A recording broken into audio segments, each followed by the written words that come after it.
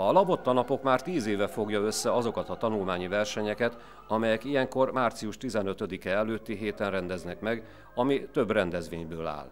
A zenei műveltségi versenyt, a Lukin László népdaléneklési versenyt, valamint a verbunkos négykezes találkozót, és a versenyeket egy-egy kiemelkedő hangverseny is szokta színesíteni.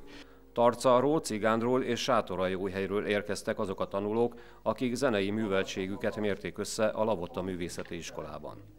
Korábban 6-7 csapat is részt vett, de ma olyan időket élünk, hogy egyrészt az anyagiak is akadályát jelentik a részvételnek, másrészt pedig úgy gondolom, hogy egyre nehezebben vállalják fel az iskolák a, a versenyzésnek ezt a formáját. A vetélkedőn résztvevő gyerekek azon kívül, hogy megismerik például Kodály Zoltán munkásságát, további ismereteket szerezhetnek a népdalok világáról.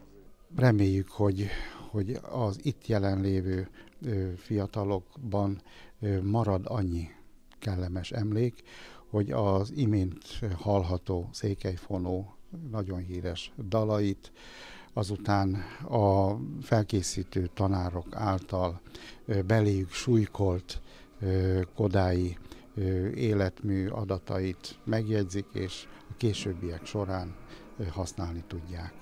A lavott napok tovább folytatódnak, színesítve ezzel is a város kulturális életét.